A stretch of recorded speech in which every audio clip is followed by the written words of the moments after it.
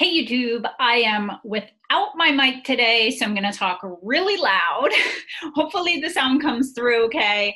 I had to um, travel home for a family wedding and I didn't bring everything I needed, so I'm trying to record this video for you and just fingers crossed it comes out all right. Just turn up your volume really loud because I am micless. Today, I'm going to run through some rehab numbers for you. If you follow our channel, you know we do something called Deal or Dud, where we talk about we run you through the numbers of a deal and talk about whether it's good or whether it's a dud. And we've recently been quote unquote flipping some properties we actually don't full out flip anymore. We just buy houses, clean them out, and stick them right back on the market with an agent. And we're still making our average profit, which for the past few years has been hung right around 35,000 per flip. I'm in kind of a lower price range market, so that's pretty good for our market and I'm going to walk you through every detail. So this is going to be a pretty detailed deal or dud. So I'll show you some pictures of the property. I'll talk to you about what my um, eh, the guy that does my inspection said when he walks through. We'll run through all the numbers, and I'm going to show you my actual profit.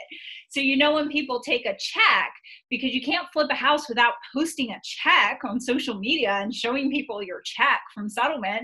That check from settlement isn't usually the actual profit. So I'm going to show you my HUD from when I bought it, my HUD from when I resold it, and how I figure out what my actual profit is, how much goes to taxes. I mean, I'm going to be a 150% transparent with you because if you follow this channel, you know authenticity and transparency are my thing. I'm not going to BS you about flipping and how much you can make on a flip project. So I'm going to show you what we projected and what we actually made. So hang in there. It's going to be a really good detailed one. My name is April Crossley. I'm a real estate investor. I'm based out of Berks County, Pennsylvania. I am currently traveling the country in the in my RV with my husband. So today's my last day in Pennsylvania. I just flew home for a couple days and I'm flying back out to Utah and we're actually heading to Colorado, which I'm super excited about. I flip houses. I have two companies that flip houses in Pennsylvania. I also buy and hold small multifamily. I do a little bit of private lending. So we kind of do like a mix of things. I'm super into like learning more about syndications, buying larger apartment buildings. We're always looking for more passive income and bigger stuff to buy at this point, and bigger stuff to lend on is really our primary focus. But today, I want to talk to you about a flip that we did recently and I'll show you a couple of these over the next few weeks because we kind of just like boom, boom, boom. We're banging out a couple flips in a row here because we don't actually have to renovate them anymore. If people are willing to pay so much more for them and we're selling these to investors. so we're really good at the sales process we're contracting these with sellers. We're super good at helping sellers and building rapport. And we're selling them to other investors and making the same profit we would have if we would have renovated them. So, what does that tell you? Other investors are paying a lot of money for stuff. like, totally speculating and on average paying like 35 to like $45,000 more for a property. It is worked out beautifully for me because my holding time is like a month and a half and I don't have to like work with any renovations. I literally just work out with work with my trash out crew and my dumpster company and that's it. So bear with me because I have stuff I want to share with you. So I have to do a screen share. So I'm going to share my desktop and I hope this works out okay. Ignore my Zoom. So these are the numbers when I originally um, was looking at purchasing the property. So I just want to take you through what my thought process was with it. So let me see if I can zoom in because this is probably really tiny for you guys. Let's do 125% and see how that looks. That's much better. Um, so my original thought was, and this is our spreadsheet, it's called our deal analyzer package. It actually breaks down for you like the deal summary, rehab costs, profitability if you flip it, profitability if you hold it as a rental, and then we put all our comps over here. I have that tab blank right now. Um, but this is what we fill out and we send to our private lender. So everything is in one place for them, makes it real simple. You can find this spreadsheet on our website, lazygirlrei.com.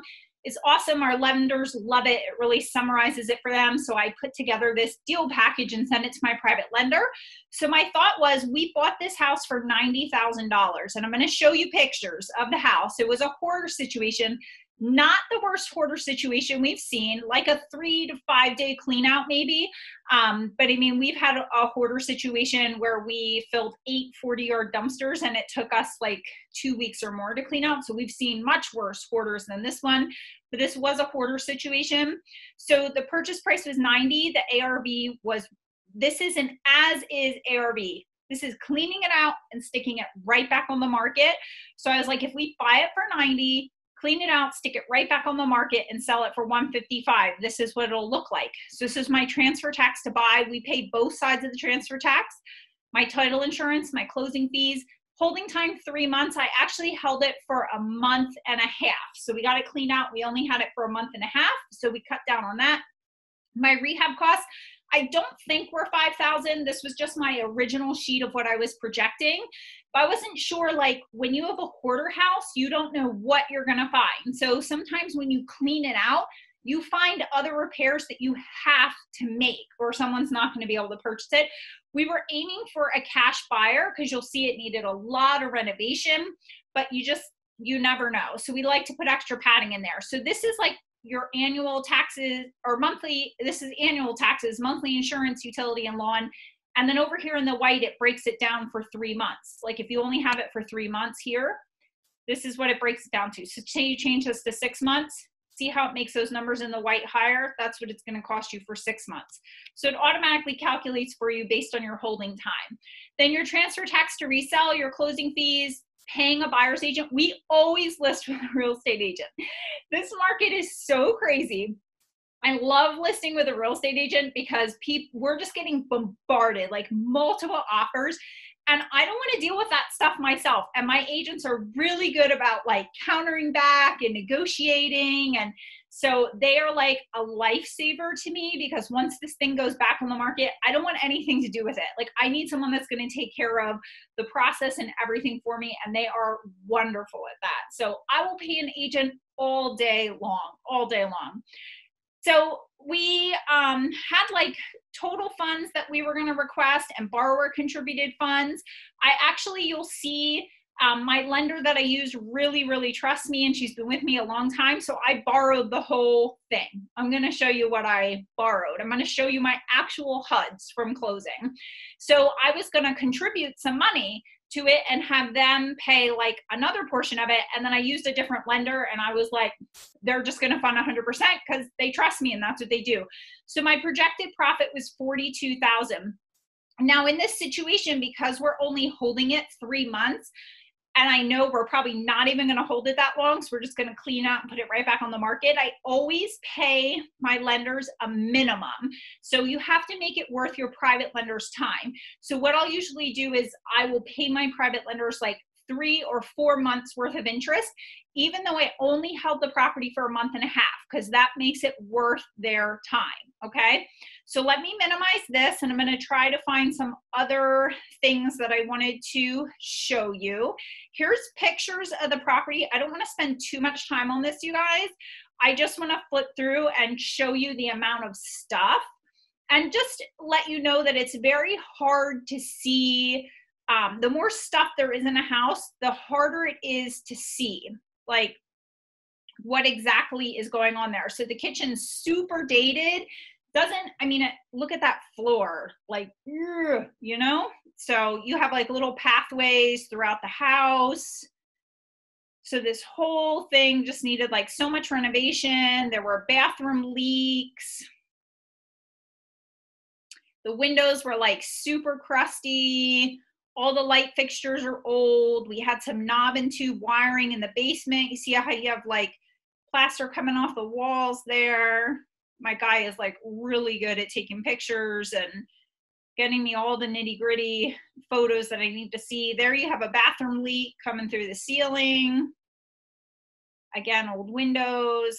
I don't want to bore you guys too much. There are so many pictures and I don't want to keep you on YouTube all day. so this is us going upstairs. See how there's some damage to the walls. again, damage to the ceilings. The roof was okay. So we, there was a lot of stuff to clean out of this house. I believe the basement was also packed. There's wallpaper everywhere. Everything is just really dated. And this woman lived here a long time and could no longer take care of the house. So that tub definitely needs some love. There's some tiles coming off the wall and probably completely needs to be ripped out.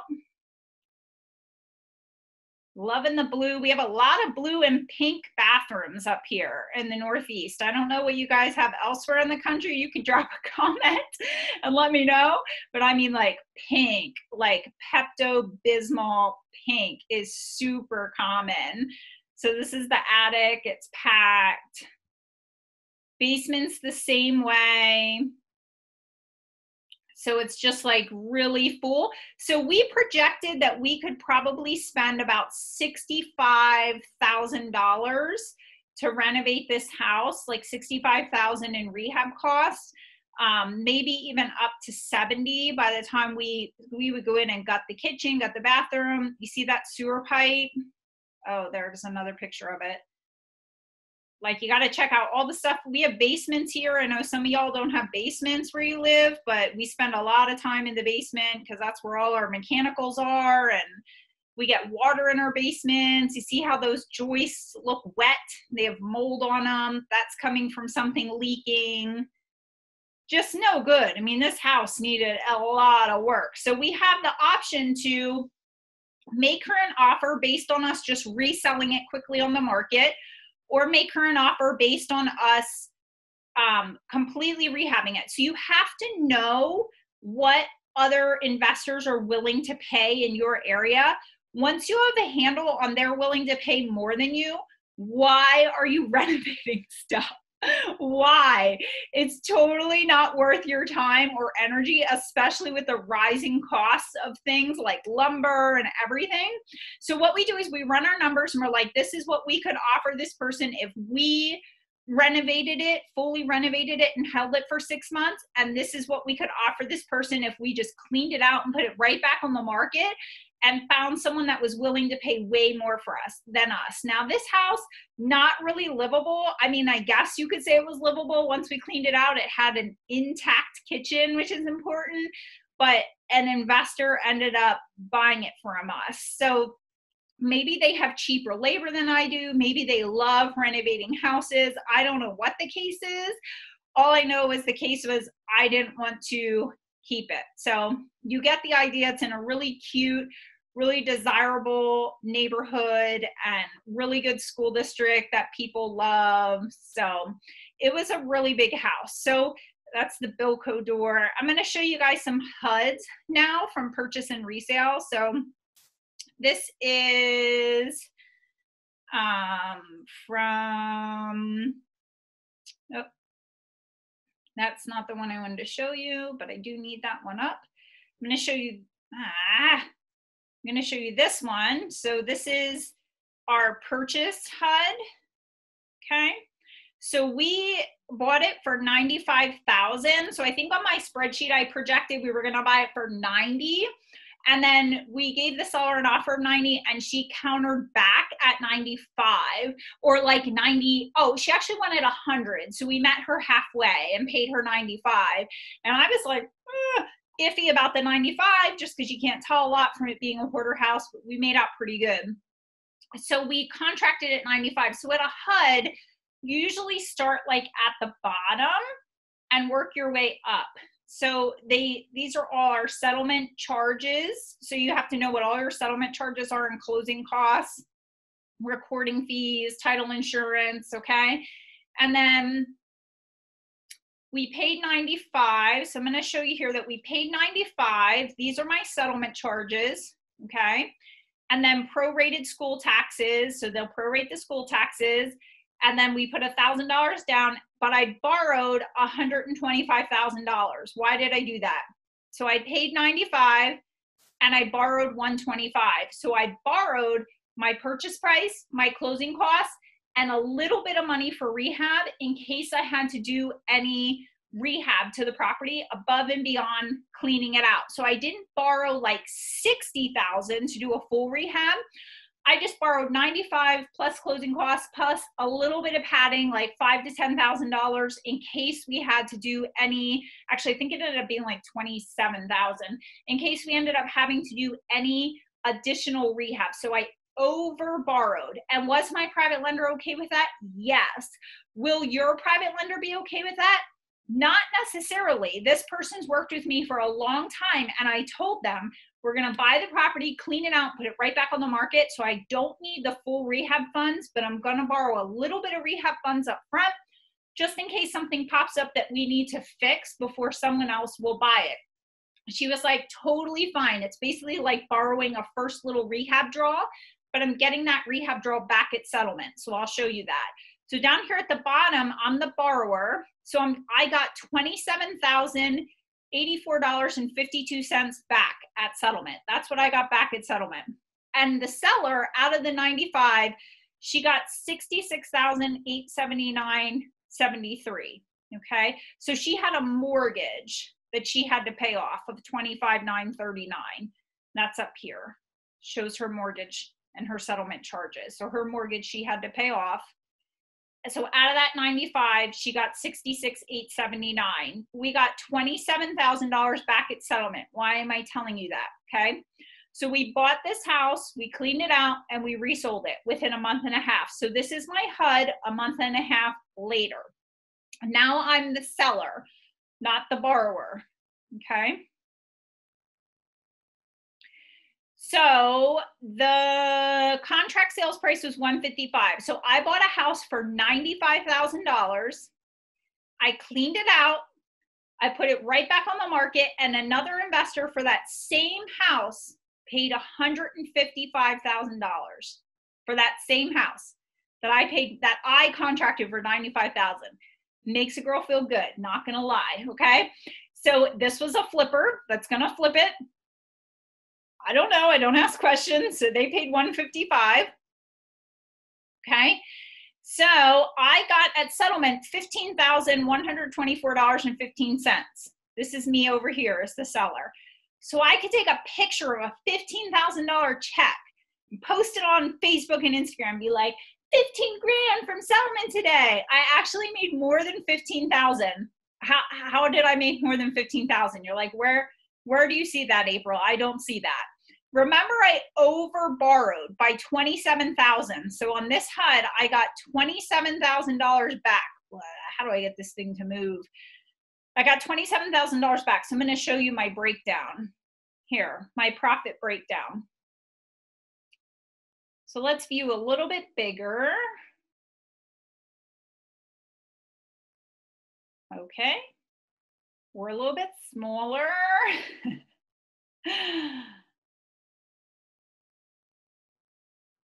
There we go. So the balance on my HUD was 15124 from when I sold it. I put down a thousand dollars of my personal money to buy it. So I wanted to pay myself that back. So I take a thousand dollars off of the 15 comes back to me personally because I bought this in my company name, but I personally put down the thousand dollars. We put in $3,357 in repairs. Remember I had $5,000 on the spreadsheet? $5,000 I was projecting we were going to put in repairs. We put in 3,300 to clean it out, dumpsters, everything. That's what it cost us, 3,357. I paid $329 in insurance, but I got 27,000. See how this is a plus mark? 27,000 that I over borrowed that was sitting in my account. So I had the 15,000 from the HUD, and the 27,000 that I overborrowed, okay? So I paid the thousand, 3,300 for repairs, 329 for insurance. I paid $2,000 out to someone for a referral fee and I held back in my account. I didn't get any utility bills. So we only had the property for a month and a half. It wasn't long enough for the utility company to send me any bills. So what I do is I hold back a little bit of money just to cover those bills because I know they're going to be coming in. So my profit was $35,322.10. Now, what do I do with that? I take 25% right off the top and put it into a tax account. Normally I take 25 or 30. I, why do I do one or the other? I don't know. Like I'm just lately doing 25, but some projects I take 30%. I put it, I set it aside in a tax account for the end of the year when I pay my taxes in. You're going to pay capital gains tax. It's going to be hefty. So 25% is $8,820. That's why when people show you this big fat check, don't get so excited about it. Like that literally makes me want to cry. $8,800 is coming right off and going to the government in a tax account. It's crazy. Then I took 10% and I put it towards marketing. And I actually, for my other business, the marketing is more expensive. It costs me more. So I take 20% and I put it to marketing. This flip company, the marketing doesn't cost as much. We just have better conversion on deals. So I only use 10%. But by the time you whittle down this 35,000, you made 35,000 in profit 8800 to tax, 3500 to marketing, you're left with $22,000. Okay, this is what our net profit was after paying taxes, after paying our marketing, after holding back money for utilities, 22,000. So when this is another reason why when people send me a deal package and they say I'm making $10,000 on this deal, I'm like $10,000 is nothing. like, I know it might seem like a big deal when you're a new flipper, but if you run into problems on that house, a little small problem can cost you $5,000. So then you're like, only left with five grand. Then you have to pay taxes, okay, capital gains tax. Then you have to set money aside to, for your business towards marketing. So that's why I always say for like a light rehab or a house we just clean out and resell, we aim for 20 grand profit. But you're not like what you're seeing on social media isn't always actually what people are netting. There's more things to the business than you that you have to pay for than you realize. So don't forget to take your money out for taxes and don't forget to take your money out for marketing. So i hope that was helpful for you guys and i hope you get to buy a house for $95000 clean it out hold it for a month and resell it to another investor for 155 because that is just the real estate environment we are in right now, it is insane. We had multiple offers on this house. We actually had, I think, someone that wanted to buy it and they only wanted to put a thousand dollars down, and I would have sold them the house, but I countered back and told them I wanted five down, five grand down and not a thousand because I wanted to know they were serious, and they were like, no, I won't do that. And it was a flipper. And to me, I'm like, if you're a serious flipper and you've got money sitting there in profit, you can put five grand down. So forget you. I'm not selling it to you because that's just a red flag to me that you want to back out. So multiple offers on everything and no need for us to rehab at all because we are really good at getting really good deals. So I hope that deal or dud was helpful for you guys. Let me know in the comments what you like best about it. Share the video if you think it would be helpful to someone else. Give us a follow on Instagram at April Crossley. You can check us out at lazygirlrei.com. We're on Facebook at Lazy Girl Real Estate Investing. And oh, we have a group on Facebook called RBREI where we talk about just like financial freedom and travel and real estate and how I got from teenage mom to millionaire and flipping houses and everything in between. It's super cool. So, thank you guys so much. I will see you next week.